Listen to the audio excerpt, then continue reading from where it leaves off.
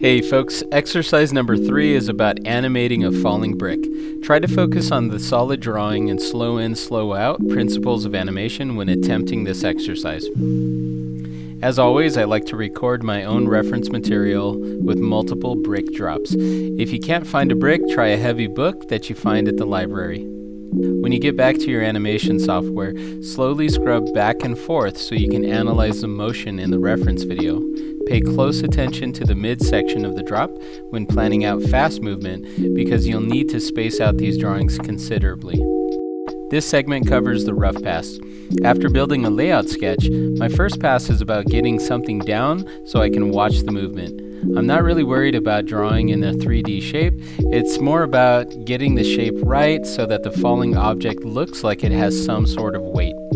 The next segment focuses on making the shape solid.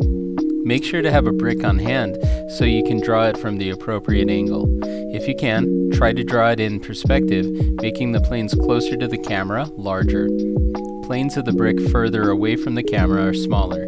This is also a good time to focus on consistent volume. Don't worry about sketchy lines.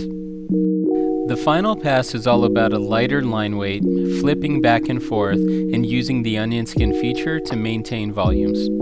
I'll watch the movement repeatedly before I spend any time coloring.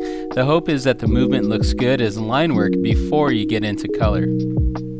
Let's have a look at all three passes side by side.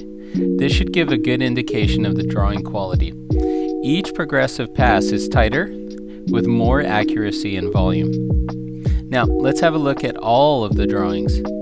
Notice that the groups at the beginning and at the end of the cycle. Close spacing creates slow movement, while large gaps speed things up. The end of the cycle matches the beginning because the drawings are clumped together. When you attempt this exercise, make sure to review slow in, slow out because the spacing and number of drawings you create will help give you a sense of weight. The solid drawing principle of animation will help you make the drawings have a sense of volume. Alright, so I hope this video was helpful. Thank you for watching. Bye bye.